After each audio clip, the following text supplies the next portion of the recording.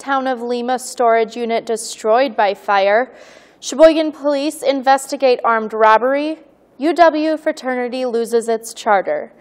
These stories and more coming up on Community News Review. This is Community News Review, service WSCS TV, news content provided by WHBL.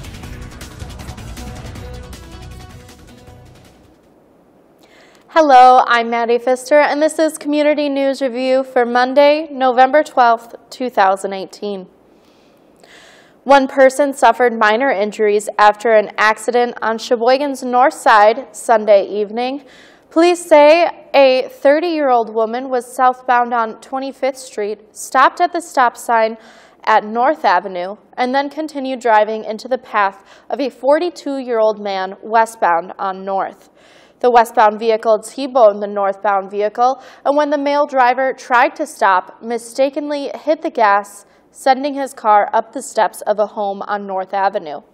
The female driver was taken to the hospital for shoulder pain and received two tickets.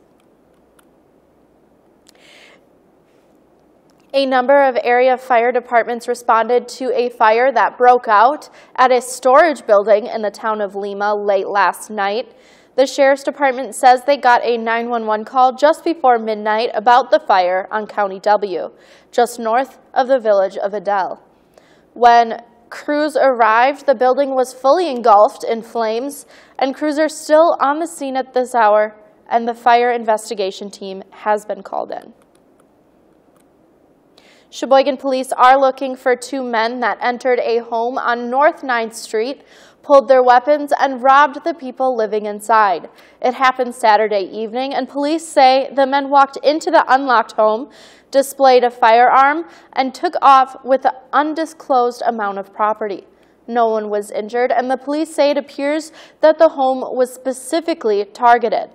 The victim had posted a Facebook photo with a large amount of cash and was known to the suspect by name. Investigators do not believe that there is a threat to the community, and if you have any information, you are asked to call the police.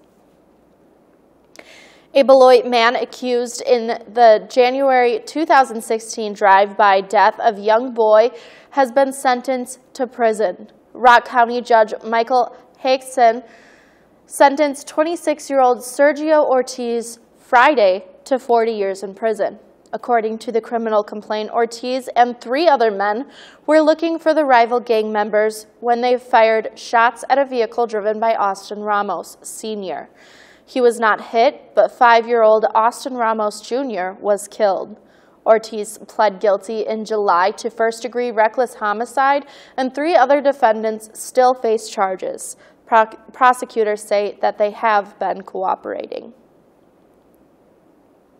The Baraboo School District is investigating claims that a group of students made a racially charged gesture while posing for a group photo last spring. The image was posted to the at Go Baraboo Twitter account, which was protected and has since been erased, showing a group of male students making a Nazi salute. Over the weekend, the image surfaced on national sites and even sparked a response from the Auschwitz Memorial in Poland. School officials emphasized that the picture was not taken on school grounds or at a school event, saying that they are conducting their own investigation into the matter with the help of Baraboo Police Department. If the gesture is what it appears to be, the district will pursue any and all available and appropriate actions, including legal, to address the issue, said Superintendent Dr. Lori Mueller. District officials added that there will be no further comment at this time, and the official Auschwitz Memorial Twitter account released a statement over the weekend saying, It is so hard to find words. This is why every single day we work hard to educate. We need to explain what is the danger of hateful ideology rising. Auschwitz, with its gas chambers, was at the very end of a long process of normalizing and accommodating hatred. The at Go Baraboo was an account that promoted itself as a parody account for the school, and it has since been shut down. The University of Wisconsin-Madison is terminating its Kappa Sigma fraternity chapter. The move comes after a television was pushed off the chapter's house balcony and nearly hit a woman this summer. The school issued a statement saying that they issued an interim suspension for a safety-related incident for violating the Student Organization Code of Conduct. UW notified the National Kappa Sigma office, which terminated the group's charter. A video of the TV incident from outside the frat house on 124 Langdon Street went viral last summer. And dozens of Girl Scouts and their families gathered at Columbia Park in Marshfield on Sunday to honor the three girls and a Girl Scout leader killed in Chippewa Falls last weekend. Marshfield area Girl Scouts had held a candlelight vigil along with a prayer they recited the Girl Scout promise and sang Scout songs.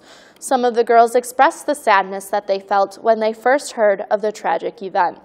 Other, together, they decided to organize the vigil, saying it is important to honor someone that was so young and just happened to die as a Girl Scout.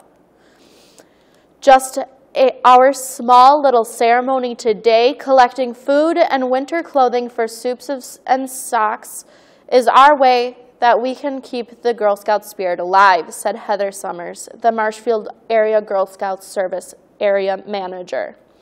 The Marshfield Fire Department was also at the ceremony. An impaired driver hit the three girls and a mother as they were picking up trash along the highway in Chippewa Falls. Across the nation, troops have been remembering the lives lost in various ceremonies, and there is a GoFundMe page to help the families of the victims. And finally, the start of the gun deer season is quickly approaching, so it's time to make sure your favorite hunting spot is ready to go. State Hunter Education Administrator John King says you should be getting out and inspecting how sturdy your tree stand is. Most of those are tied up with a nylon strap, and that strap from year to year gets torn. It's a bad time to find out your strap is no good when you're halfway up a tree. King says that you want to make sure that your stand can still support you on your hut before you head out on opening day. He also says that if your deer blind has a heater in it, you're going to want to make sure it is working properly and has plenty of space before you turn it on for the season.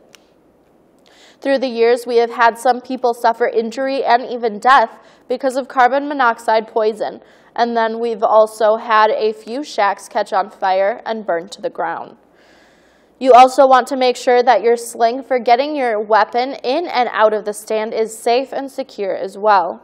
Wisconsin's gun deer season runs from November 17th through the 5th, 25th. And that's all we have for today. Join me again on Wednesday for another recap of our local news on Community News Review.